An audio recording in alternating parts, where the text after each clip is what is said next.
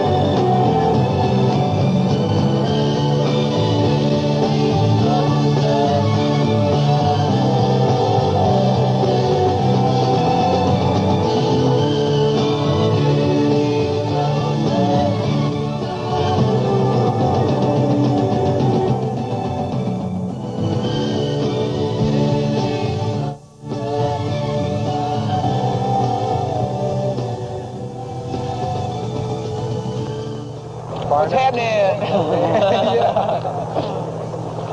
Okay? Ready. Now, we got two choppers to take us. We go in the big one, we'll split the crew up, go two at one time, okay? We take two at one time. The big one will go Mark, Don, Mel, after me, Axes. We'll go Andy, one, two, three, four, five. You and Howard Pete go in the small one. Right? That takes care of all of us.